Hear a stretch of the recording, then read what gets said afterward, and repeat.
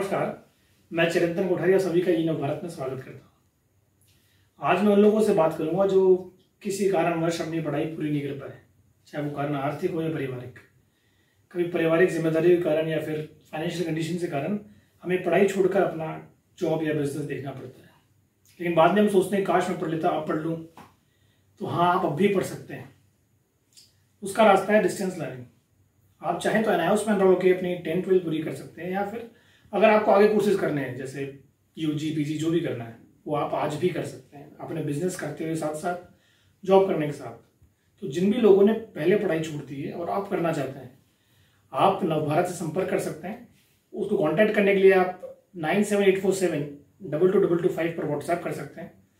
आपकी पढ़ाई आज भी पूरी हो सकती है अगर आप में इच्छा हो।